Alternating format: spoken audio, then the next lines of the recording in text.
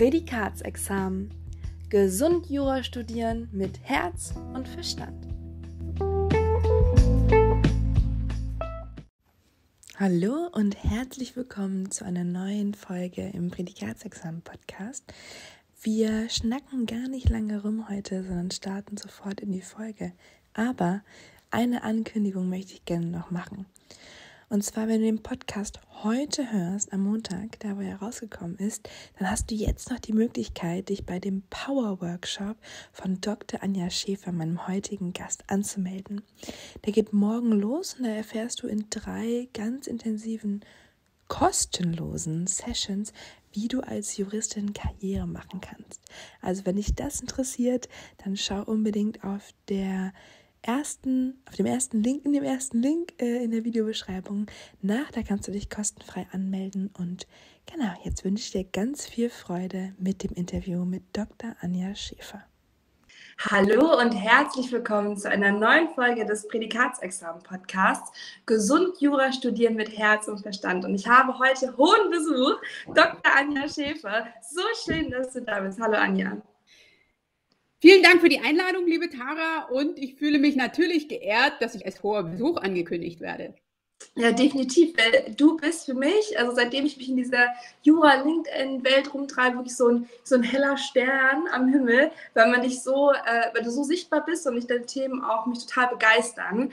Ähm, denn du bist Rechtsanwältin, aber äh, mittlerweile vor allem tätig als Business Coach, Trainerin und Expertin fürs Netzwerken und für Female Leadership. Magst du uns mal kurz in deine Welt holen? Was ist so dein äh, aktueller Tätigkeitsschwerpunkt?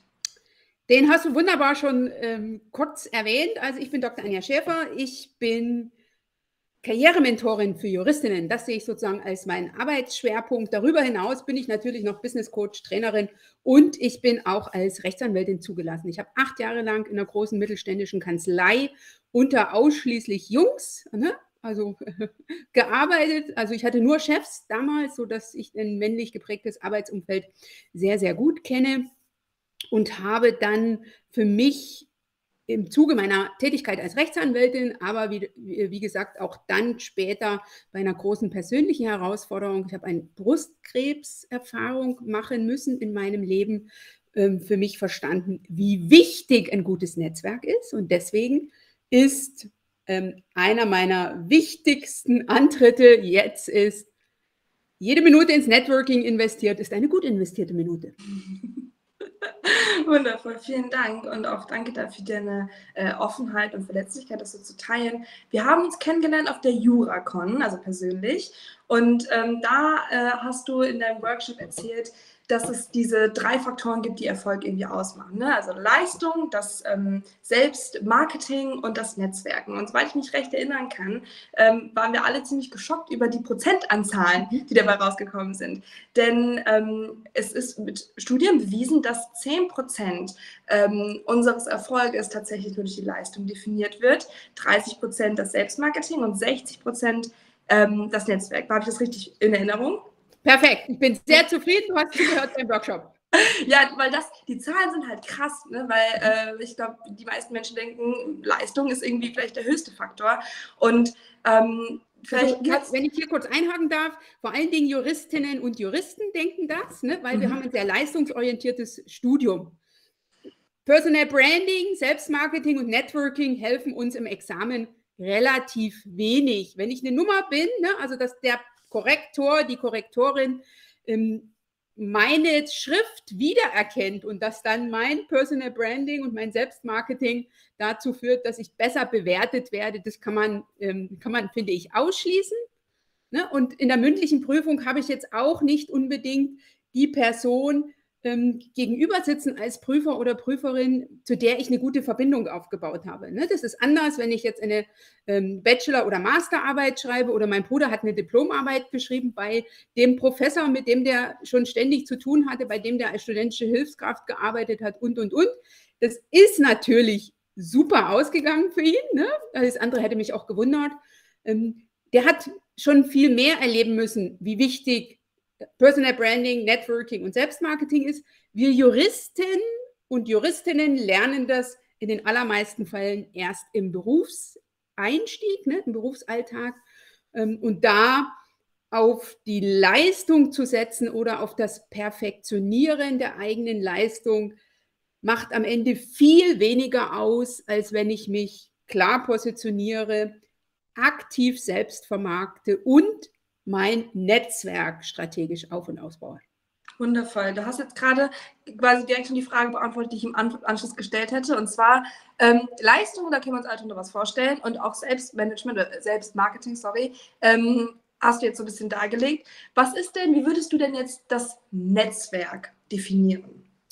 Das Netzwerk ist die Außenwirkung. Ne? Das ist also sozusagen ähm, der idealerweise, man kann es eigentlich, finde ich, ganz gut formulieren mit der gute Ruf, der mir vorauseilt. Ne? Damit andere positiv über mich sprechen, mich weiterempfehlen, an mich denken, ne? wenn ein bestimmtes Thema aufkommt, wie beispielsweise ne, eben jetzt bei meiner äh, Person das Thema Networking und äh, der Fokus auf Sichtbarkeit als Expertin ist es ganz wichtig, dass ich vorher ansetze. Ne? Also ähm, in meiner Hand habe ich zum einen, dass ich strategisch Netzwerke und die richtigen Menschen in meinem Netzwerk habe, aber die tun nichts für mich, wenn die nicht wissen, wofür ich stehe. Ne? Also was meine Expertise ist, was mich als Persönlichkeit ausmacht.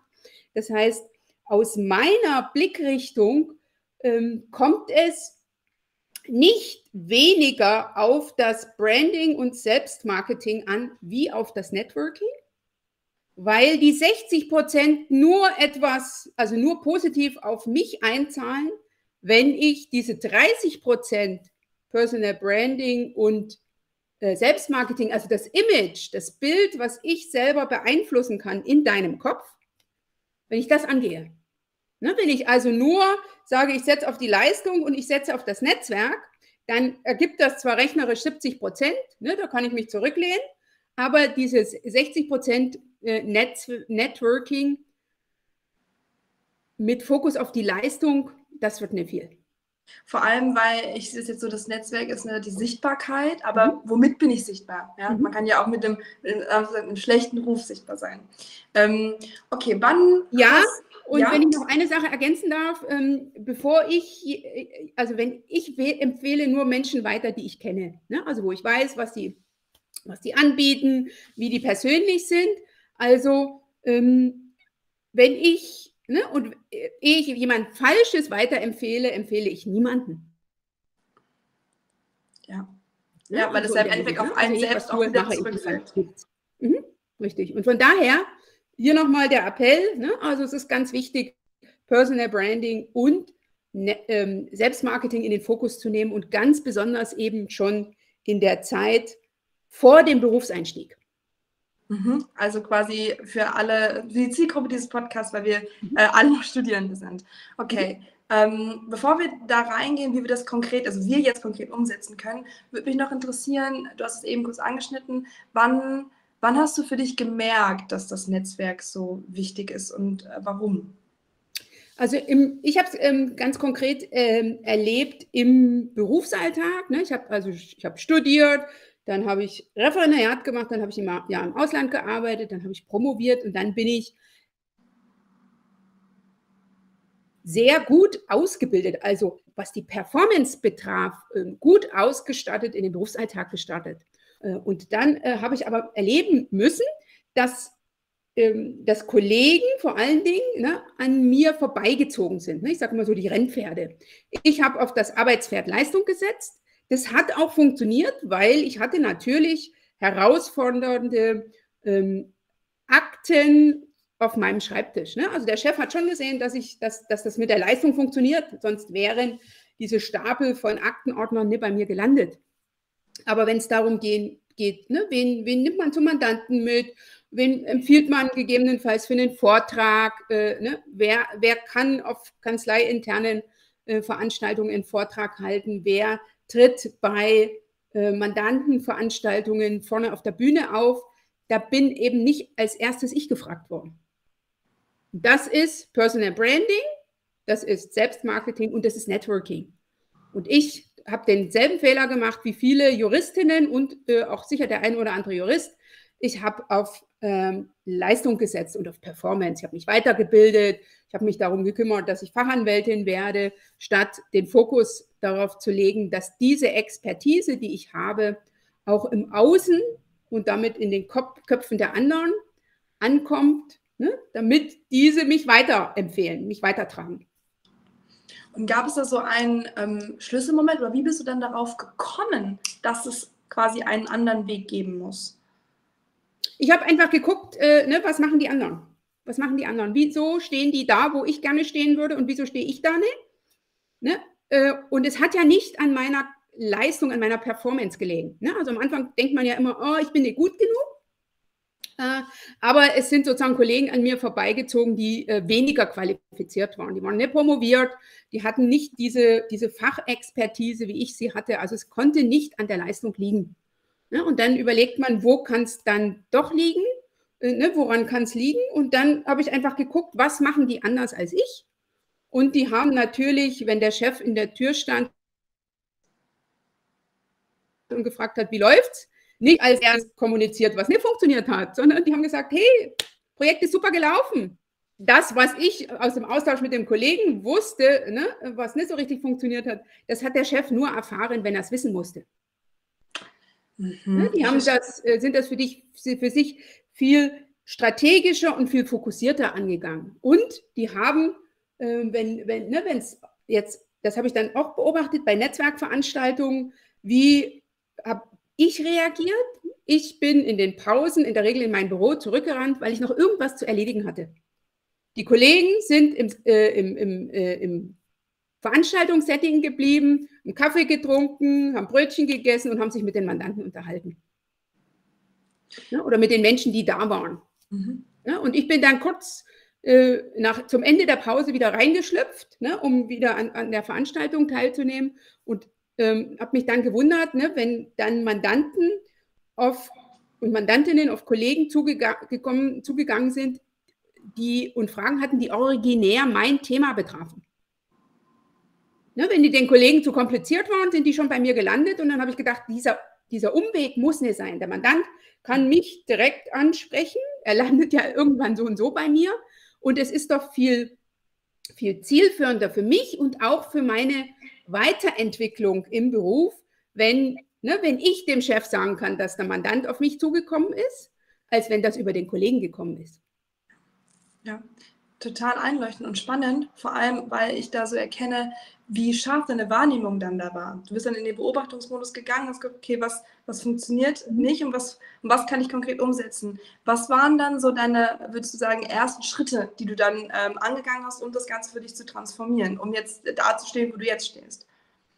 Also für mich war eine ganz, ganz wichtige Erkenntnis, dass Netzwerken ein wichtiger Teil des Arbeitsalltags ist. Ne? Also besonders so aus äh, äh, ne, Berufseinsteigerperspektive und auch schon ähm, im, äh, in der jetzigen Situation, ne? also Richtung Examen ähm, und dann ne, dem Referendariat, dass ich einfach schaue, wenn immer ich irgendwo unterwegs bin, so ne, aus der heutigen Brille betrachtet, das habe ich damals nie gemacht. Ich habe nicht zum Mandanten gesagt, hier ist mein Handy, guck, ich gucke mal, ob Sie auf LinkedIn sind, lassen Sie uns doch miteinander vernetzen. Ne? Das ist aber sozusagen heute meine Strategie, wenn ich irgendwo auf einer Netzwerkveranstaltung bin, als ähm, ja, Examenskandidat, Examenskandidatin habe ich in der Regel noch keine Visitenkarte, ne? aber ich habe ein Handy und ich sollte idealerweise schon ein LinkedIn-Profil haben. Ne? Und dann fange ich eben an, da äh, mein Netzwerk auf und auszubauen. Das heißt, ich nutze das Profil, das ja, wo, wo ich ja noch nicht so viel Expertise reinbringen kann am Anfang.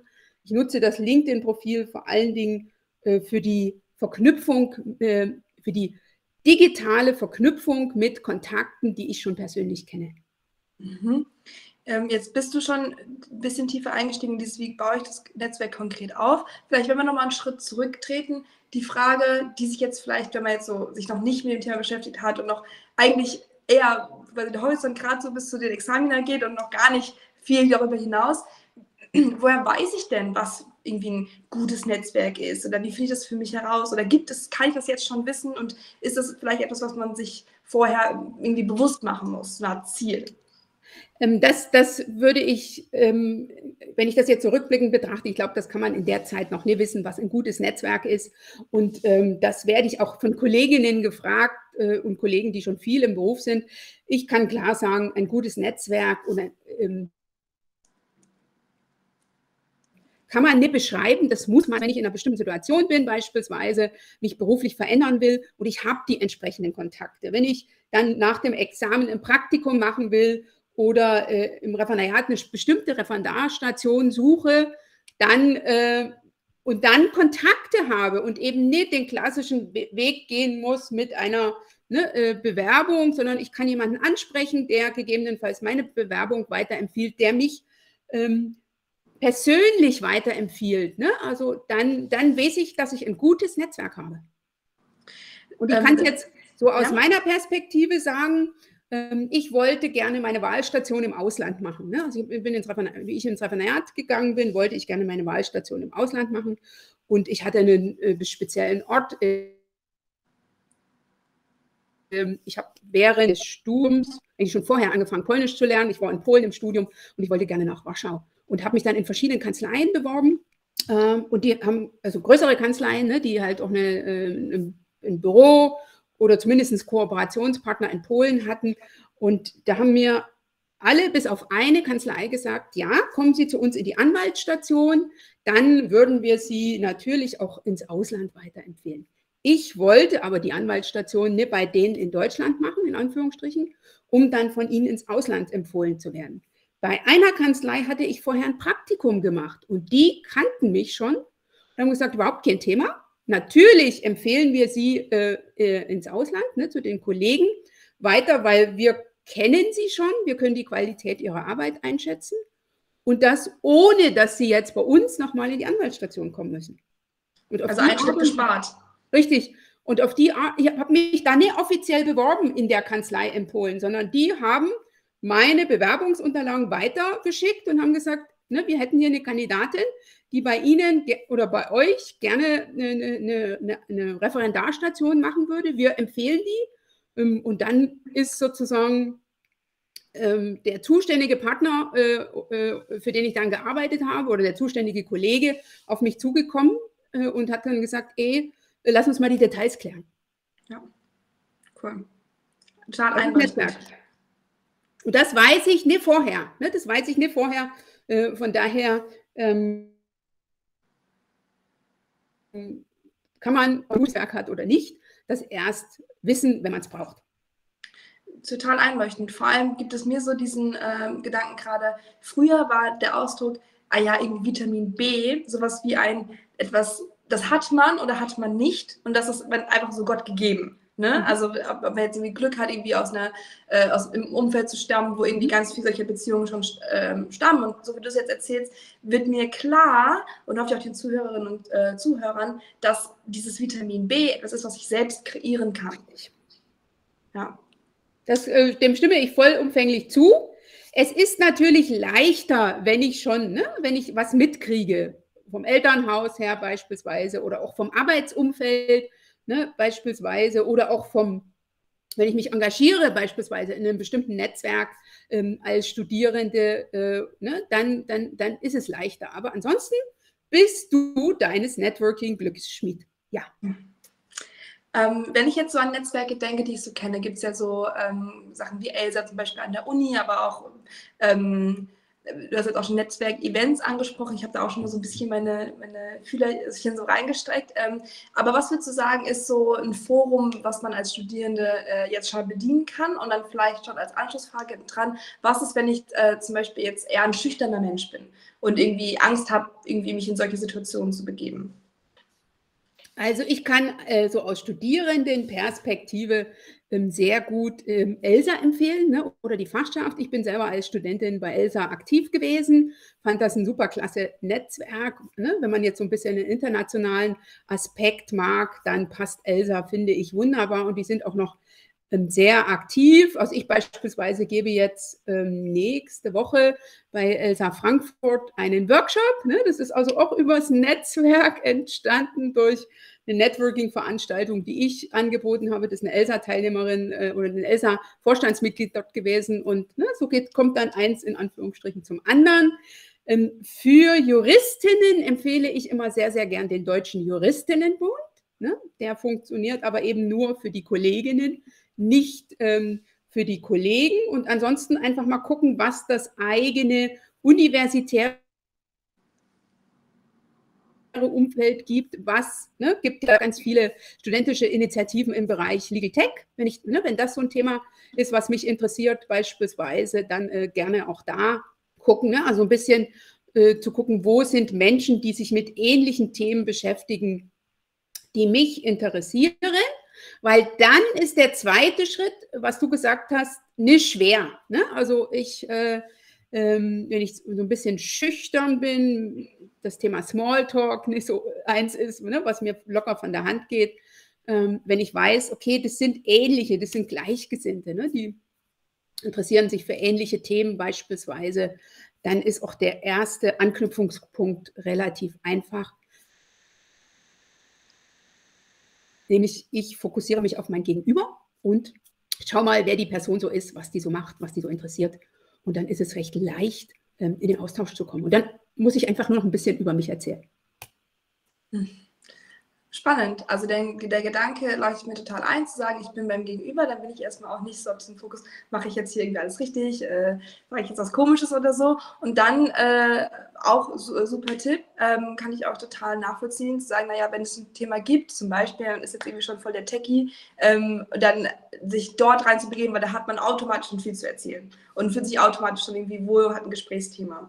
Okay, ähm, wenn wir angenommen, wir haben jetzt dieses, ähm, wir haben dieses Mindset jetzt verstanden, wir ähm, haben uns ein Netzwerk rausgesucht, wir haben uns auch quasi überwunden, dahin zu gehen. Wie ähm, halte ich mein Netzwerk quasi, also wie halte ich den Kontakt aufrecht? Weil einmal Erstkontakt reicht doch nicht. Du hast eben gesagt, das fand ich auch ganz wichtig, ähm, bei der Weiterempfehlung, du empfehlst jemanden weiter, den du kennst. Ja? Wie, wie geht es dann quasi weiter? Also wenn ich mich für ein bestimmtes Netzwerk äh, entscheide, ne, dann habe ich ja die Möglichkeit, äh, da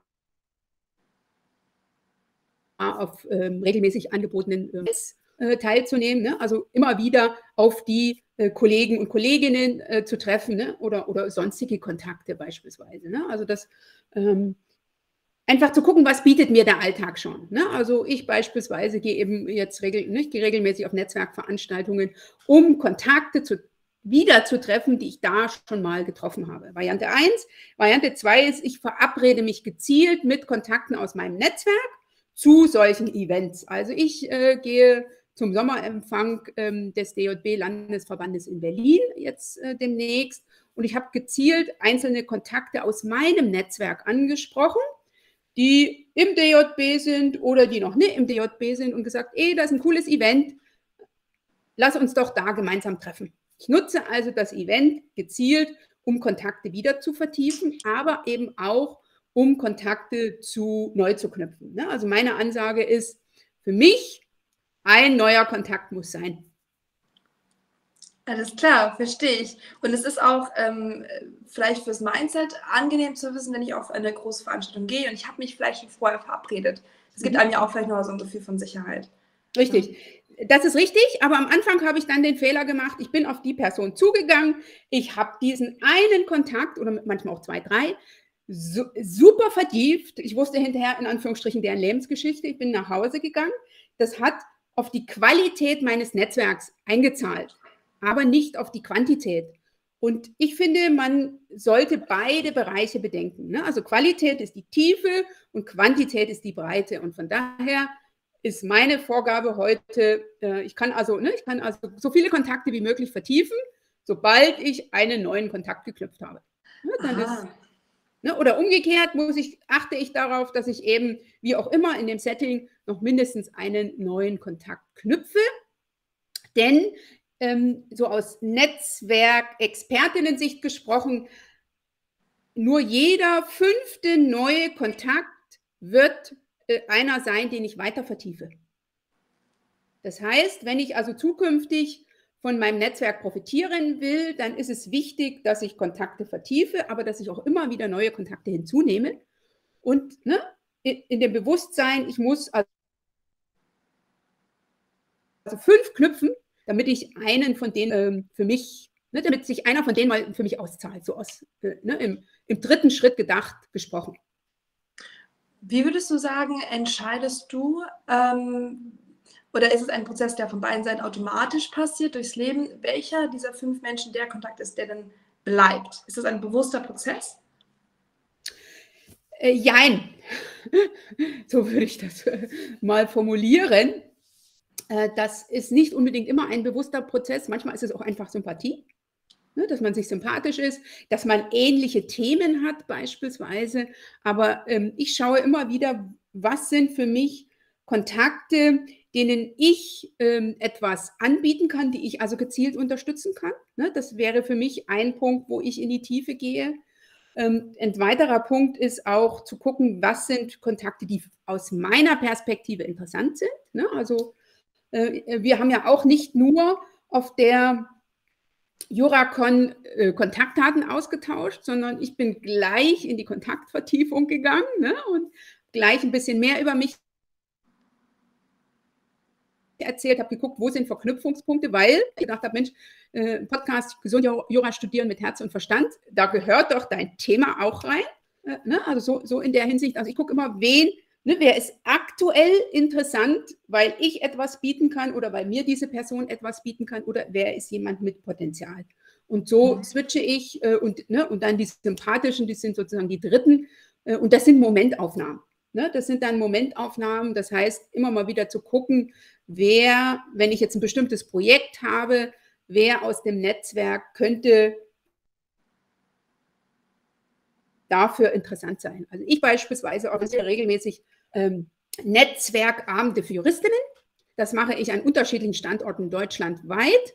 Und äh, ich brauche dafür immer eine Kooperationskanzlei, in deren Räumlichkeiten äh, ich meine Networking-Events veranstalte. Und äh, ne, dann habe ich so verschiedene Orte, die ich gerne aufsuchen will und ich will immer wieder woanders hin, idealerweise. Und dann gucke ich, äh, ne, ich will jetzt nach München beispielsweise oder äh, mein, mein aktuellstes Projekt war im Herbst eine Kanzlei in Köln zu finden und dann gucke ich, wen habe ich in meinem Netzwerk, ähm, wer hat gegebenenfalls schon mal Interesse signalisiert, dass er ne, mit mir kooperieren will oder wen kann ich dafür gewinnen. Und dann, ne, dann gucke ich und dann fange ich irgendwo an, in Anführungsstrichen. Äh, und manchmal habe ich Glück, dass gleich die erste sagt, cooles Projekt. Und manchmal ist es eben so, dass erst die zweite oder dritte sagt, ja, bei uns passt es.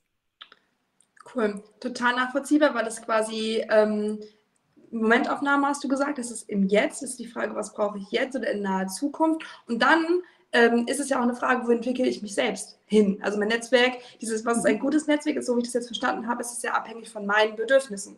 Ja, also Richtig. und den Zielen.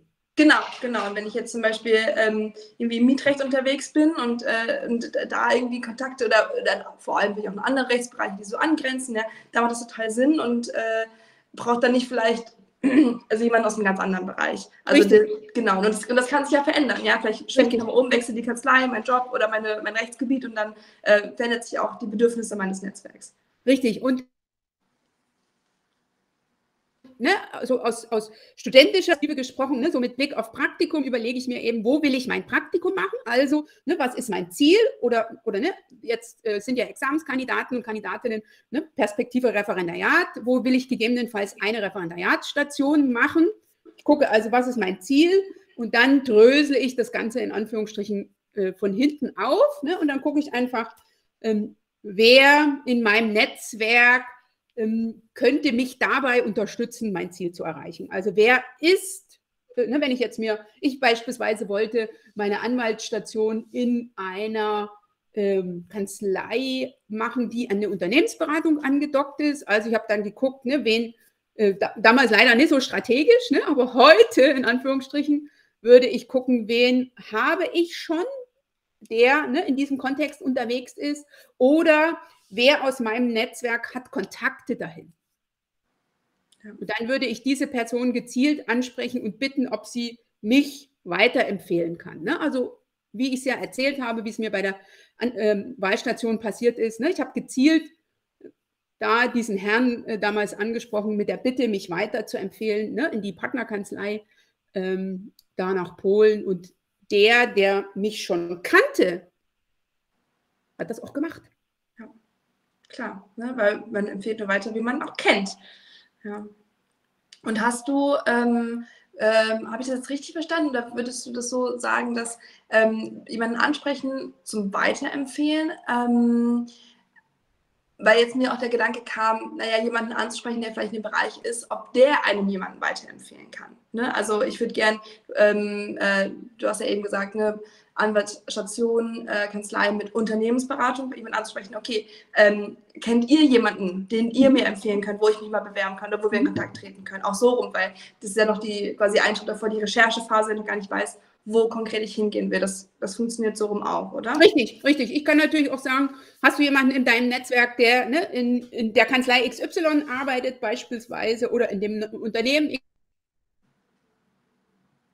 XY oder auch ne, beim Ministerium XY ähm, ne, und kannst du mich gegebenenfalls mit dieser Person verbinden. Ne? Also das ist ja relativ unkompliziert. Ich kann die Person mal anrufen, ich kann auf LinkedIn einfach äh, ne, ne, ne, in der Nachrichtenfunktion so einen äh, Dreier-Chat machen und dann kann ich die Personen miteinander verknüpfen. Und dann ist es wieder meines Networking-Glückes Schmied, was ich aus diesem Kontakt mache. Mhm. Ähm, um nochmal auf diesen Aspekt zu kommen, dieses Schmiedsein. Ähm, ich habe die Frage so formuliert, ähm, du kannst sie aber ganz frei beantworten, wie du das möchtest, aber mich hat so interessiert, gab es vielleicht, ich sag mal, drei Dinge, ähm, die du lernen musstest oder vielleicht auch ablegen musstest, um diesen Weg jetzt zu gehen, um äh, so eine, ich sag mal, krasse Netzwerkerin zu sein, äh, wie du es jetzt bist?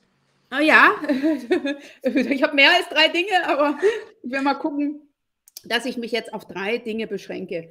Ähm, das erste wichtige Learning, was ich für mich ge gemacht habe, ist zu gucken, ähm, was funktioniert schon gut. Ne? Also Status quo finde ich ganz wichtig. Immer wieder zu gucken, wo stehe ich gerade und wenn ich das Ganze rückblicke, was, was mache ich schon richtig? Weil davon kann ich mehr machen. Ne? Wir, funktionieren, wir fokussieren uns häufig auf die Dinge, die nicht funktionieren. Das ist aber die falsche Blickrichtung, sondern zu gucken, was mache ich schon gut und was fällt mir leicht.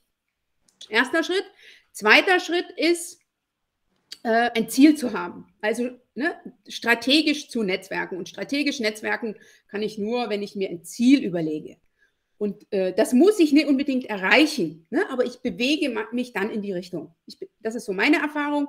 Ich gehe los und es passiert darauf, daraufhin ganz viel von dem, was ich nie ähm, alles geplant habe, in Anführungsstrichen. Ne? Also das, äh, aber ich habe ein Ziel für mich gesetzt, das finde ich ganz wichtig. Und der dritte wesentliche Schritt ähm, oder der, das dritte wichtige Learning war, zu verstehen, dass Entscheidung, ob ich ein interessanter Kontakt bin, ne, ob ich sozusagen es wert bin, Teil deines Netzwerks zu sein, Tara. Diese Entscheidung überlasse ich dir und die treffe ich nicht vorher in meinem Kopf. Das habe ich lange gemacht. Ne? Ich habe immer ge geguckt, äh, wer, ne? kann ich die Person ansprechen beispielsweise. Aber ich bin doch ne, noch gar nicht so groß ne, wie die beispielsweise, so Hierarchiegedanken. Ne? Das könnte ja auch ähm, so aus, ähm, aus der, ne, jetzt in der jetzigen Situation deiner Zuhörerin so ein Punkt sein. Oder stelle ich der Person eine Vernetzungsanfrage auf LinkedIn? Die kennt mich ja noch gar nicht. Ich, äh, ich bin da mittlerweile frei äh, und sage, ich traue mich ich schicke, ne, ich spreche alle an, in Anführungsstrichen, ich schicke jeder eine Vernetzungsanfrage. Und ob ich in Kontakt bin oder nicht, das entscheidet mein Gegenüber. Das führt dazu, dass ich, ne, es wird nicht jede meiner Anfragen beantwortet und auch nicht jeder auf der äh, auf einer Netzwerkveranstaltung klatscht hinterher in die Hände und sagt, ey cool, äh, Dr. Anja Schäfer ist ein, ist ein wichtiger Kontakt für mich, aber das führt auf jeden Fall dazu, ähm, dass ich ne, so aus der ähm, digitalen Bubble gesprochen, dass ich 80 Prozent mehr Anfragen stelle, als ich früher gestellt hätte. Und ich kriege, sagen wir mal, 50 bis 60 Prozent äh, bestätigt. Ne? Das heißt, äh, ne, äh, so aus der Perspektive der Quantität im Netzwerk mache ich es mir dadurch wesentlich leichter. Ne? Und ich habe jetzt noch einen vierten Tipp, nämlich indem ich ähm, immer wieder auch auf Qualität setze. Und da ist der persönliche Austausch ganz wichtig. Also ich finde den äh, dritten Punkt total spannend, weil es auch so aus der Perspektive Mindset, wo es hier viel drum geht, ähm, total den Gedankenschutz macht.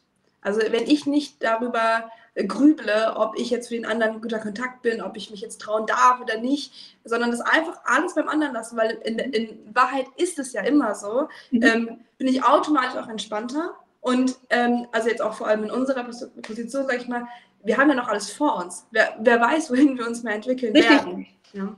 Und das Nein habe ich schon. Ne? Das Nein habe ja. ich schon. In der Regel in meinem Kopf, in Anführungsstrichen. Ich kann also nur gewinnen. Ja. Ich kann nur gewinnen, wenn ich mich traue. Und dieses Nicht-Trauen ist ja das Nein. Ne? Da hat man mhm. quasi schon, ohne es probiert zu haben, das Nein. Und auch wenn man ein Nein bekommt, das kann ich auch aus Erfahrung sagen, ähm, wenn man sich getraut hat, dann hat man davon auch schon manchmal so ein High und freut sich so und mhm. so stolz auf sich sein, dass es das Jahr fast gar nicht braucht. Ja, ja das, das, Jahr, ist ja, ne, das Leben gibt uns ja mehrere Chancen. Das heißt, wenn ich das nächste Mal dir wieder begegne, kann ich einen neuen Versuch wagen. Ne? Kann ich sagen, okay, äh, das erlebe ich jetzt ne? teilweise, wenn ich, ich habe jetzt auf einer ähm, Karrieremesse hier in Berlin eine Person angesprochen, der habe ich irgendwie vor zwei Jahren mal eine Vernetzungsanfrage gestellt, ist nichts passiert auf LinkedIn. Äh, und jetzt habe hab ich die persönlich getroffen, habe gesagt, lass uns, lassen Sie uns, ich bin auf LinkedIn gegangen, habe gesehen, wir sind noch nicht miteinander vernetzt, habe hab wieder drauf geklickt und jetzt ist die Dame in mein äh, Portfolio oder in mein Netzwerk gekommen. Ne? Also ähm, sich da einfach ähm, trauen und und es auch nicht persönlich nehmen. Das, mhm. glaube ich, ist in dem Kontext auch wichtig. Ne? Also das, das, ähm, das war für mich am Anfang so eine schwierige Herausforderung. Okay, was ist jetzt ist es jetzt irgendwie beruflicher Kontext, aber ich bin ja trotzdem ich und Netzwerken ist irgendwie ja auch persönlich und wo zieht man da eine Grenze und wo, ähm, also weil, dass ich zum Beispiel mit Menschen wirklich echte Sympathie habe, liegt ja an meiner Persönlichkeit. Das ist ja, das ist ja etwas, was irgendwie, was so oft vielleicht der emotionalen Ebene auch passiert, aber gleichzeitig in eine eben auch nicht persönlich zu nehmen, um diesen, sag mal, professionellen Kontext auch wahren zu können, oder? Richtig, mhm. richtig. Das ist ganz, ganz wichtig. Ne? Und ich habe auch für mich verstanden, dass es nicht auf die Menschen ankommen, dass es nicht auf die Menschen ankommt, ich, die, ich sage es immer so ein bisschen ähm, spielerisch oder so bildlich, die nicht mit mir schwingen. Ne? Mhm. Also es kommt auf die Menschen an, die, ne, die, die mit mir schwingen. Und die anderen, die, das ist etwas, was man, aber finde ich auch erst, was ich erst im Verlaufe meines Berufslebens gelernt habe, ähm, die sind wichtig. Äh, der Rest ist eigentlich ähm, Der schwingt ja sowieso nicht mit einem. Ne? Der kann ja auch woanders nicht mit einem schwingen. Mhm. Ja. Mm, jetzt noch eine weitere ganz offene Frage, jetzt so äh, frei an dich. Wie würdest du ähm, Erfolg definieren? Also aus Netzwerk, Networking-Perspektive hat Erfolg es, ich übersetze Erfolg immer sehr gern mit TUN, mit tun. Wir wissen ganz viel. Ne? Also wir wissen ganz viel äh, in puncto Networking. Das ist so meine Erfahrung. Es liegt nicht am mangelnden Wissen, sondern ne, es liegt häufig an dem sich Bewusstsein für bestimmte Dinge und dann in die Umsetzung zu gehen. Ne? Also das ist für mich ähm, Erfolg bedeutet für mich Dinge zu tun, ne? Dinge auszuprobieren, ähm, zu gucken, was funktioniert und was funktioniert nicht, äh, Dinge zu verändern, zu optimieren und einfach einmal mehr aufstehen, wenn man gescheitert ist, als äh, ne? Okay, das heißt, ähm, einfach dieses im Prozess sein, aktiv sein, ähm, mhm. ist immer wieder versuchen. Ähm, wenn du dich in deinem Netzwerk umschaust heute, was würdest du sagen, sind ähm, JuristInnen oder Qualitäten und Eigenschaften, die JuristInnen heute erfolgreich machen? Ähm, so pauschal würde ich diese Frage gar nicht beantworten wollen. Ne? Also, sondern ich würde gucken, äh, Persönlichkeit ist ja, ist ja etwas sehr Individuelles. Ne? Also wichtig ist, dass ich mir bewusst bin, dass es ähm, beim Netzwerkerfolg nicht vorrangig auf die Expertise ankommt, weil die findet man auch an anderen Stellen, sondern auf die Persönlichkeit. Ne? Also und äh, sich bewusst zu machen, dass das Wissen, was ich mitbringe als Juristin, kopierbar ist. Also jeder kann sich in meine Themen einarbeiten. Ne? Also jeder kann sich dieses oder jenes Wissen ähm, äh, anlernen. Meine Persönlichkeit ist nicht kopierbar. Und wenn es mir gelingt, das ist, glaube ich, ein ganz, ganz wichtiges Verständnis oder Qualitäten einzugehen. Wenn es mir gelingt, diese Verknüpfung hinzukriegen zwischen dem Wissen, was ich mitbringe, und das wird ja im Laufe des Berufslebens immer mehr, und meiner Persönlichkeit, dann ähm, kann ich nur gewinnen. Ne? Dann kann ich nur gewinnen. Ähm, denn wir sind Menschen, wir verbinden uns mit Menschen. Also ich habe es immer erlebt, ähm, wenn ich mich irgendwo beruflich, äh, also äh, beworben habe, ne, im, im, beim Berufseinstieg und auch später, ähm, wie ich überlegt habe, drüber, darüber nachgedacht habe, mich selbstständig zu machen, bin ich nochmal, ich wollte mich örtlich verändern, aus NRW nach Berlin gehen, habe mich dann in Berliner Kanzleien beworben und äh, habe für mich verstanden, ne, also ich hätte, hatte mehrere Jobangebote äh, und da hat nicht die, Kom hat nicht die Kompetenz äh, den Ausschlag gegeben, sondern immer die Persönlichkeit. Also wenn ich ne, mir meine persönlichen Qualitäten bewusst bin, dann kann ich die in jedem Bewerbungsgespräch ausspielen, dann kann ich die in jedem Setting für mich nutzen und dann bin, mache ich mich damit unverwechselbar. Wunderbar. Und das passt, also ich finde, was, mich gerade so einleuchtend war, die Kopierbarkeit von Wissen. Das, mhm. war, das, ist, das ist enorm und gleichzeitig, das hast du eben gesagt, fand ich auch richtig wichtig und gut, zu schauen, was mache ich schon richtig, was ist der Status mhm. quo und quasi das ist ja auch Teil der Persönlichkeit, den man dann ähm, da mehr, ähm, wo es individuell ist. Ne? Der eine ist irgendwie ähm, vielleicht ähm, das fällt mir jetzt immer ein, weil das immer so ein guter Kontrast zu mir ist, jemand, der irgendwie total toll mit Details ist, total präzise, ja, das, das irgendwie, das schon immer als natürlichen Hang irgendwie hat, weil ich eher so eine introvertierte Person und bei mir wäre es auf jeden Fall eher so dieses Rampensau-Ding, erstmal raus mhm. und so, das weiß ich, das kann ich, also mache ich das auch und da eben zu schauen, okay, was kann ich gut, das ist halt bei jedem was anderes. Ne? Richtig, und das ist ganz wichtig zu wissen, ne? so aus Personal Branding-Sicht, ähm, was ist meine Expertise, was, wie bin ich als Person? Das sind meine persönlichen Qualitäten, das ist meine Persönlichkeit. Und der dritte Punkt, über den ich auf jeden Fall nachdenken sollte, ist nämlich äh, das Warum. Was motiviert mich? Und nur das zusammen, ne, das ist der sogenannte goldene Kreis des Personal Brandings. Ne? Also wir gehen von außen nach innen, außen ist was, dann kommt wie und in der Mitte ist das Warum. Das sollte ich mir klar machen, weil ich dann für mich eigentlich so das ideale Setting finde. Und was davon nicht stimmt, äh, dann ne, hakt es in allen drei Bereichen. Äh, einleuchten. Und ich finde es geil, wie präzise pam, pam, pam, du zu allen Fragen Konzepte und Bilder hast. Naja, das äh, macht einfach die Erfahrung. Ne? Ich habe mich ja ne, sozusagen erst gestern mit diesem Thema beschäftigt. Und ich freue mich immer, wenn ich sozusagen ähm, das Wissen, was ich für mich verstanden habe und was auch wirklich funktioniert, ähm, teilen kann. Ne? Also ich habe mich zu, zu Examenszeiten nie mit solchen Fragen beschäftigt. Also das gab es damals auch nicht, ne? aber ähm, ich ähm, habe mich für diese äh, Themen nicht interessiert, sondern ich habe auch bei meinen ähm, ersten Schritten im Berufsleben ausschließlich auf Leistung gesetzt. Und das ist eben, ähm, also jetzt auch nochmal so, ich sag mal, gesundheitlichen Perspektive. Ähm, ich habe auch früher eigentlich nur auf Leistung gesetzt und bin total, also ich würde sagen, zweimal knapp Burnout schon hinter mir sozusagen und musste da einfach aus gesundheitlichen Gründen umschwenken. Und sowas wie zum Beispiel ähm, der Podcast ist für mich ja eine riesen Netzwerk. Ähm, äh, und gleichzeitig, und das hätte ich nie gedacht, aber es ist wirklich, wirklich wahr, diese Gespräche zu führen macht mir ja einen Riesenspaß. Und mhm. da Menschen Connect macht mir einen Riesenspaß. Und es ist, es ist wesentlich entspannter als das reine Lernen. Und ich nehme aber so viel mit. Also mhm. auch fürs Lernen, auch für meine Leistung, an Strategie und also auch an Kontakten, aber vor allem dieses, es ist auch, ach, für die Seele und fürs Sein, mhm. ähm, doch so schön zu sehen, dass man auch ähm, Erfolg haben kann und das nicht alles nur durch harte Arbeit, sondern auch durch ein total schönes, man kommt zusammen mhm. und erhält sich, entstehen kann. Richtig, dem ist so. Ich will allerdings hier noch einen Satz loswerden. Ohne Leistung, ohne Performance geht es natürlich nicht. Ja, also, äh, und besonders für uns Juristen und Juristinnen, wo ja ähm, so viel auf das Examen gesetzt wird. Ne? Also wenn ich jetzt so Kanzleien sehe, äh, beispielsweise, oder auch Arbeit, öffentliche Arbeitgeber, ne, wo immer vom Prädikatsexamen gesprochen wird und, und, und. Ohne geht es nicht. Ne? Also, aber wenn ich in der Tür schon drin bin, durch ein Praktikum, durch Netzwerkkontakte, dann ähm, ist, die, ist das Examen nicht alles, worauf geguckt wird. Wenn ich allerdings noch da, davor stehe, dann ist es, äh, würde ich sagen, ein nicht unerheblicher Schlüssel.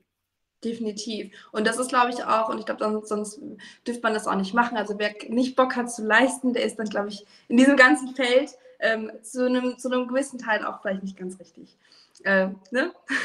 Ja, oder ne, er muss sich gut verkaufen können. Ne? Also er muss andere Qualitäten haben, er muss andere Dinge sozusagen äh, gut verkaufen können und er muss natürlich noch viel, viel mehr aufs, aufs Netzwerk setzen. Ja. Gibt es sowas wie absolute, ich sag mal, Netzwerk-No-Gos? Ja. Ja, ähm, gibt es, gibt es. Also ich rede nur über mich, ich interessiere mich nicht für mein Gegenüber, ist für mich ein Netzwerk-No-Go. Ne? Ähm, dann auch, bevor ich, äh, und ein weiteres Netzwerk-No-Go ist ähm, zu nehmen. Ne? Also ich äh, gucke, was haben meine Kontakte zu bieten. Äh, ne? Ich lasse mich ständig weiterempfehlen, empfehle nicht andere.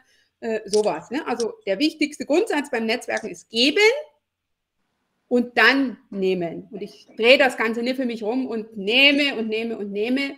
Ähm, ne? Also sozusagen bin Energieräuber, Kontakträuber, wie auch immer. Ähm, da werde ich auch nicht ähm, gut kommen. Wenn ich allerdings nur gebe und gar nicht nehme, dann ähm, ist das ein äh, Fehler, den ich, der sozusagen bei mir, ähm, ne, der sich bei mir auswirkt. Ja, ja. Also eine Balance. Mhm. Richtig. Eine Balance finde ich immer ganz wichtig und auch ne, eine Balance im Austausch. Also ne, ich interessiere mich für mein Gegenüber, ich erzähle aber eben auch was über mich. Ähm, jetzt bist du auch äh, Spezialistin für Female Leadership und da würde mich jetzt noch interessieren, ähm, welche Herausforderungen sind es denn, die vor allem, denen vor allem Frauen äh, in der äh, juristischen Berufswelt begegnen und ähm, warum und so ein bisschen, was können wir vielleicht auch schon präventiv tun? Also so als Frauen, äh, als Studierende, als Juristinnen, angehende Juristinnen, ähm, denen zu begegnen. Richtig. Also ein wichtiger Punkt ist, dass ich mir bewusst mache, dass meine Leistung nicht automatisch fürs Image sorgt. Also der Chef muss doch sehen, dass ich das gut mache, ne? der muss mich doch weiterempfehlen. Ähm, ne? Der Chef muss doch, ne? also der Chef muss mein, oder die Chefin muss mein Marketing machen. Nein, äh, eine gute Leistung sorgt nicht automatisch für das entsprechende Image, sondern das ist mein Job. Network, also Personal Branding äh, und äh, ne? Selbstmarketing, das ist meins. Ne? Das ist ähm, ein wichtiger Punkt, den, wo wir Frauen Potenzial haben. Der zweite wichtige Punkt ist, das Thema, ähm, das für sich strategisch anzugehen und sich Ziele zu setzen. Ne? Das ist etwas, was ich auch immer häufiger bei jungen Kolleginnen oder immer oder häufig bei jungen Kolleginnen erlebe, so nach der Devise, ne, ich fange halt einfach mal an äh, und äh, in der Regel äh, ne, ergibt sich eine berufliche Weiterentwicklung oder Karriere, finde ich, nicht von allein. Mhm. Ja, und die Jungs sind da deutlich, deutlich strategischer unterwegs. Äh, das höre ich auch von Kolleginnen, die Bewerbungsgespräche führen, ne, wenn die fragen, was, ne, wie sehen Sie Ihre Perspektiven hier in, der, äh, in dem Arbeitsumfeld? Da sind die Herren mit, einem, ne, mit einer Idee unterwegs äh, und äh, mich hat man, hätte man damals kalt erwischt. Mhm. aus meiner Perspektive. Ne? Ich habe vielleicht so überlegt, was könnte im nächsten Jahr passieren. Aber eine drei- oder fünf Jahresperspektive hatte ich nicht. Äh, und dass es aber wichtig ist, so eine Perspektive zu haben, Ne, um äh, äh, in diesem Kanzleisetting beispielsweise voranzukommen, finde ich ganz wichtig. Und zwar unabhängig davon, ob die dann tatsächlich auch so ausgeht. Ne, was, glaubst, was, glaubst, du, woran liegt das, dass wir Frauen das weniger haben oder machen? Das ähm, kann ich gar nicht so sagen. Sich vielleicht, äh, die, sich vielleicht zu früh festlegen zu müssen, wobei ich mich ja damit gar nicht festlege. Ne? Also das ähm, finde ich immer ganz wichtig. Ähm, und das ist eine Erfahrung, die mir ähm, die, die meine Brustkrebs, äh, mitgegeben hat, nämlich wenn nichts sicher ist, ist alles möglich. Und im Berufsleben ist ja auch nichts sicher. Ne? Also ob ich, wenn ich einsteige, äh, in, diesem, in dieser Kanzlei Partnerin werde oder nicht, äh, das ist nicht sicher. Aber ich kann mir das vorstellen und ich kann das kommunizieren. Das finde ich ganz, ganz wichtig. Und das erlebe ich auch ne, von den Kolleginnen, die dann das zu einem späteren Zeitpunkt für sich feststellen müssen, dass sie das für sich strategisch schlecht oder falsch angegangen sind. Weil eben der Kollege, der deutlich, ähm, deutlich weniger Berufserfahrung hat, deutlich kürzer im, im, im, Anwaltsberuf ist, jetzt eben befördert wird und man selber nicht. Und das liegt nicht an der Leistung. Ne? Das finde ich so einen ganz, ganz wichtigen Punkt. Ähm, und das eigene Netzwerk auch für sich äh, nutzen zu wissen. Ne? Also nicht zu geben, sondern auch zu nehmen. Das ist auch etwas, was Statistiken immer wieder sagen. Wir Frauen haben das größere Netzwerk, aber wir nutzen es nicht so zielführend. Ne? Also das auch. Äh und ein letzter wichtiger Punkt. Networking ist ein wichtiger Teil des Arbeitsalltages und kein Freizeitvergnügen. Ne? Also dieses, diese Selbstverständlichkeit, wie du im privaten Kontext netzwerkst, die einfach auch mit in das Berufsleben zu nehmen. Die Jungs machen es ohne anders. Also in der Hinsicht. Ne? Also wenn ich jetzt so meinen alten Chef sehe, der hat regelmäßig Freitagnachmittag auf dem Tennisplatz gestanden. Und das war aus meiner Perspektive lange Freizeitvergnügen. Nee, war es nicht, sondern das war Business. Klar hat der ne, gespielt mit, mit, mit äh, Kontakten aus seinem Netzwerk ähm, ne, hat sich da sportlich betätigt, hat hinterher mit denen noch zusammengesessen, aber ähm, der hat diese, ne, diese Kombi von Expertise und Persönlichkeit da wunderbar gespielt und hat ne, sein Netzwerk qualitativ weiterentwickelt und das war Business. Und sich das auch zu erlauben, ne? zu sagen, mhm. irgendwie, ich, äh, das ist jetzt ein Freitagnachmittag, es ist nicht abends, es ist Nachmittag. Ja, und, ja, und selbst wenn das abends gewesen wäre, ne? oder mhm. so, immer wieder zu gucken, wie kann ich ähm, Netzwerken zur Priorität machen? Wie kann ich das zur Priorität machen? Weil es ist in den allermeisten Fällen zwar wichtig, aber nicht dringend. Und wir haben ganz viele dringende Sachen auf unserem Schreibtisch, die gegebenenfalls nicht so wichtig sind. Ne? Und da immer wieder zu gucken, was ist jetzt ähm, eine wichtige Priorität. Und äh, wenn ich meine Ziele leicht und schnell erreichen will, dann geht es am besten mit anderen. Und dafür muss ich einfach auch eine entsprechende Zeit äh, ins Netzwerken investieren. Ja. Ähm, ich fand den Aspekt, den will ich noch kurz herausstellen, den hast du eben kurz gesagt, noch total wichtig, warum wir Frauen das so machen. Dieses sich nicht zu früh festlegen wollen. Ähm, das ist für mich auch total einleuchtend. Und ähm, so wie du das aber jetzt gerade beschrieben hast, kam mir der Gedanke, das ist ja ein Stück weit, ich kann ja mir ein Ziel setzen, mhm. auf dem Weg, auf mich auf den Weg machen, mein Netzwerk machen. Und dann merke ich irgendwann, ich habe eine Erfahrung, merke so, boah, ich will jetzt in eine ganz andere Richtung, aber den Weg, den ich bis dahin gegangen bin, ich ja trotzdem mhm. gegangen. Und ja. man kann es ja auch bewusst machen, ne? Ziele verändern zum Beispiel. Ja. Richtig, der Weg ist das Ziel. Ne? Also um mal den schönen Satz von, der ist bestimmt von irgendeinem asiatischen äh, ja, das, das Konfuzius und Co. Äh, ne? Also der, We der Weg ist das Ziel und sich auch zu äh, erlauben zu sagen, was interessiert mich mein Schnee von gestern? Ich entscheide mich heute neu und ich, ne, ich passe das an, ich optimiere, ich nehme mir jetzt ein neues Ziel hinzu. Ähm, ja, das finde ich ganz wichtig. Und ähm, ich, äh, das ist jetzt mein letzter Tipp, in Anführungsstrichen, ich hätte noch viel, viel mehr, sich nicht äh, mit anderen zu vergleichen, das finde ich auch immer noch ganz wichtig. Ne? Also wenn ich gewinnen will beim Vergleichen, dann vergleiche ich mich mit mir früher. Und dann, ne, dann sehe ich, was ich, was ich geschafft habe, was ich erreicht habe. Und ich, äh, ich habe schon Vorbilder, aber ich vergleiche mich mit denen nicht, weil die sind ja ne, in meinem Moment ne, in der Hinsicht, sondern und, ne, wenn ich mich mit denen vergleiche, dann fühle ich mich einfach nur schlecht. Äh, wenn ich mich mit mir vergleiche und denke, wow, was habe ich erreicht, äh, ne, ähm, dann ja, kann ich eigentlich nur so da sitzen. Und ich, ja. ja, genau. genau so. Wundervoll. Vielen, vielen lieben Dank, Anja, für diese geballte Information. Ich bin richtig happy, dass wir jetzt in dieser einen Stunde so viel ähm, Netzwerkwissen, deine Expertise hier reinpacken konnten. Und also, ähm, dann stelle ich dir jetzt meine Abschlussfrage, die ich allen meinen Podcast-Gästen stelle. Und zwar, ähm, wenn du dich mal zurückerinnerst an die Anja, die ihr Studium begonnen hat im ersten Semester, mhm. Ähm, magst du mal sagen, wie viele Jahre das ungefähr her ist? Also, das sind jetzt 30, nächstes Jahr sind es 30 Jahre. Okay. Also wenn du an die Anja von vor 30 Jahren zurückdenkst ähm, und die vielleicht siehst, so wie sie drauf war, mit ihren vielleicht auch Ängsten, Unsicherheiten oder auch ihren Stärken und ihrem Potenzial, was wäre aus deiner heutigen Perspektive ein Rat, den du ihr mit auf den Weg geben würdest?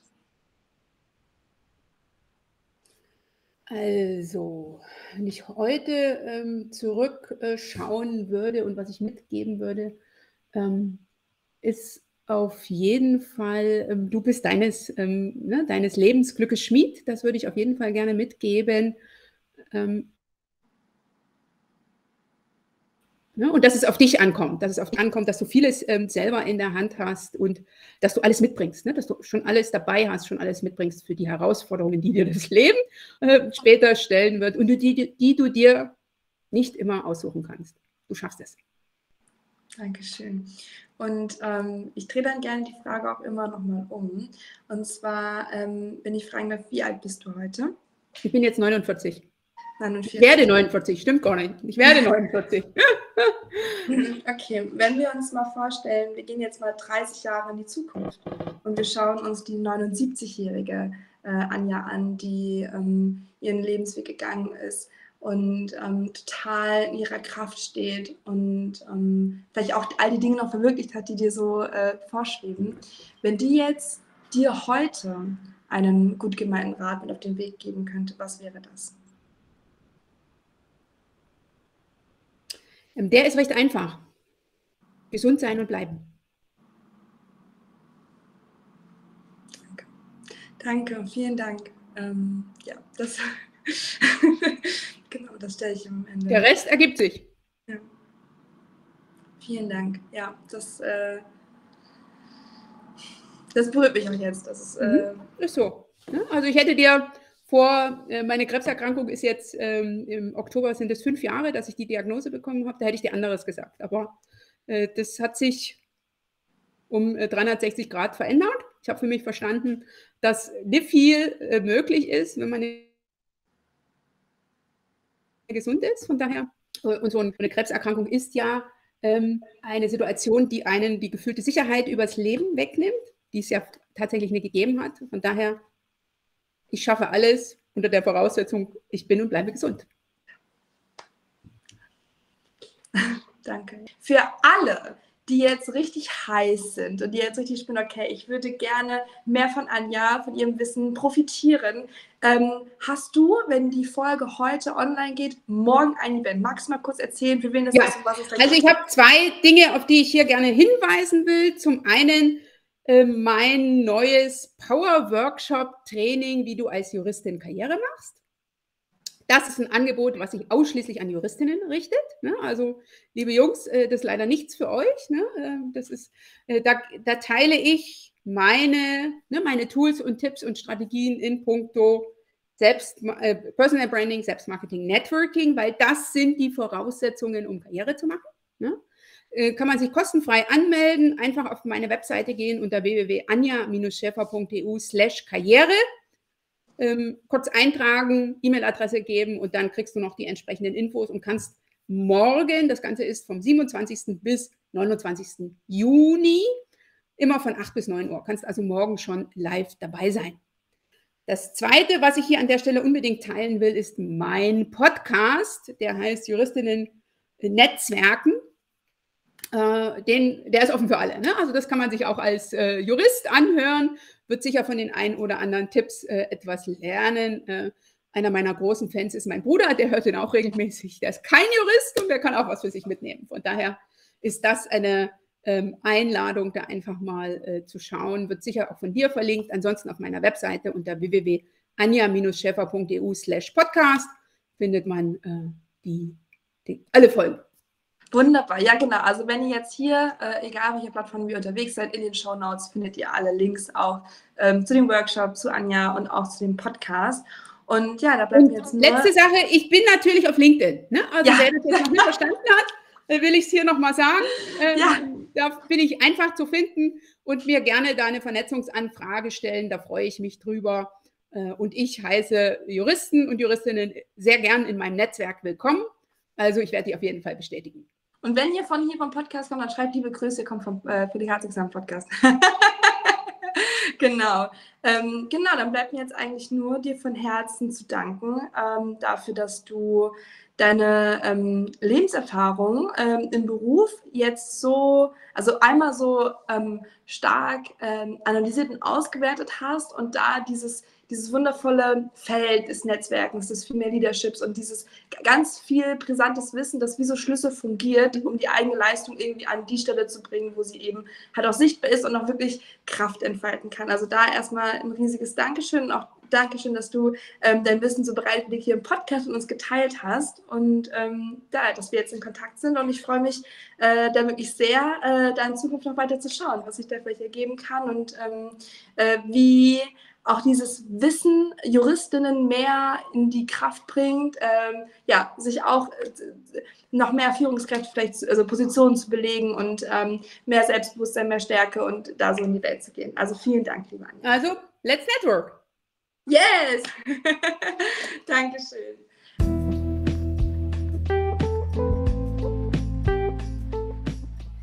So, und das war's auch schon mit dieser Folge.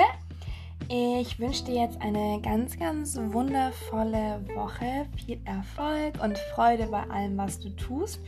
Und ich möchte jetzt hier einmal den Aufruf starten, wenn du Teil dieses Podcasts sein möchtest, wenn du deine Erfahrungen, deine Erkenntnisse, dein Weg des Jurastudierens, des achtsamen, gesunden Jurastudierens. Und dafür musst du noch nicht Examen geschrieben haben. Du kannst auch ganz am Anfang stehen.